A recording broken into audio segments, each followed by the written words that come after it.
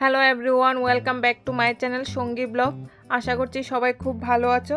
তো আজকে আমি তোমাদের সামনে চলে আসলাম একটা নতুন ভিডিও নিয়ে। আজ চলে আসলাম আমি আগরতলা স্থিত মহেশখলাতে। এখানে একটা প্রজেক্ট আমি দেখতে এসেছি।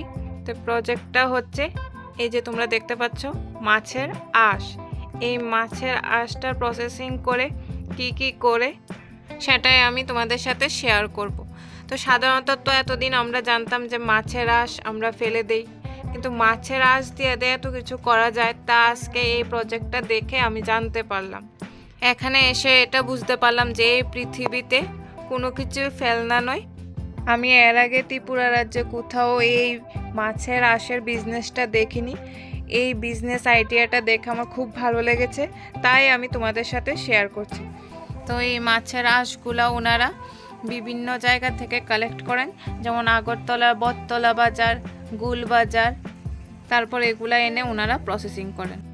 এই মাছের বিজনেসের যে ওনার সেই দিদি আজকে আসেনি, কিন্তু ওনার হাজব্যান্ড এসেছে, তো ওনার কাছ থেকে আমরা শুনে নেব যে এই মাছের আঁশগুলার দিয়ে কি কি করা যাবে এর ব্যবহার কি কি। একটা দ্বিতীয়ত মহিলারা রোগ এক্সটেন্ড করে ওরে শাস্ত্রী এগুলো দিয়া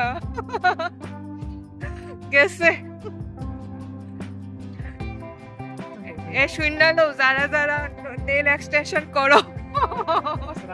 মাছের আঁশ দেওয়া করে। তো ফ্রেন্ডস তোমরা তো শুনলে দাদার কাছ থেকে যে মাছের আঁশ দিয়ে কি কি করা হয়। তো এখানে এসে এই দেখো এই যে মাছের আঁশের বিজনেসটা তো তার এই বিজনেসটার জন্য কতগুলো মহিলা স্বনির্ভর হচ্ছে তাই ওনার এখানে কাজ করে। তো এখন আমরা দেখব এই মাছের আঁশগুলা কীভাবে তারা কি করে, চলো দেখি।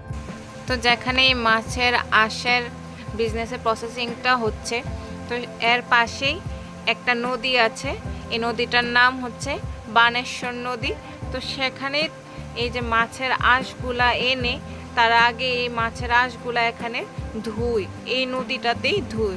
তো আমরাও চলে আসলাম দেখার জন্য এবং তোমাদেরকে দেখানোর জন্য যে মাছের আঁশগুলা তারা কীভাবে ধুই।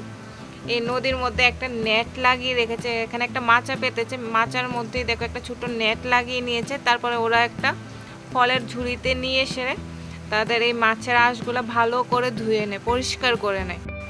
মাছের আঁশগুলা ধোয়ার পর এগুলা এনে এবার এগুলা এই যে মাচাতে শুকাতে দিতে হয়, যাতে মাছের আঁশ থেকে যে জলটা আছে ওই জলটা ঝরে যায় এবং মাছের আঁশগুলা শুকিয়ে যায়। তো ওনার এখানে যে যারা কাজ করছে, এই যে একটা মাসিমণি দেখো, এই আঁশগুলা ছড়িয়ে দিচ্ছে। উনি এখানে মাচা পেতে রেখেছে, মাচার উপরে, বাঁশের মাচার উপরে নেট লাগিয়ে রেখেছে। তো ওই জালগুলাতেই এখন ছড়িয়ে দিচ্ছে যাতে জলটা ঝরে যায় আর মাছের আঁশগুলা শুকিয়ে যায়। তারপর যখন এই মাছের আঁশগুলা শুকিয়ে যায়, এগুলা একসাথে জড়ো করে বস্তাবন্দি করা হবে। তার জন্য এক এক সবগুলা একসাথে করে বস্তায় ঢুকানো হচ্ছে। তারপর এই বস্তাবন্দি সকল মাছের আঁশগুলা এগুলা উনি হায়দ্রাবাদে বিক্রি করবেন। তাদের এই ইউনিক বিজনেস আইডিয়াটা দেখে আমার খুব ভালো লাগল। আর তাদের এই বিজনেসটা দেখে আমি এটাই বুঝলাম যে পৃথিবীতে কোনো কিছুই ফেলনা নয়। আর চেষ্টা থাকলে, মনে জোর থাকলে সব কিছুই করা যায়। তো আজকের ভিডিওটা যদি তোমাদের ভালো লেগে থাকে, তাহলে একটা লাইক করে দেবে। আর এই ভিডিওটা কেমন লেগেছে তোমরা কমেন্টসের মাধ্যমে অবশ্যই জানাবে। চলো দেখা হবে নেক্সট ভিডিওতে টাটা।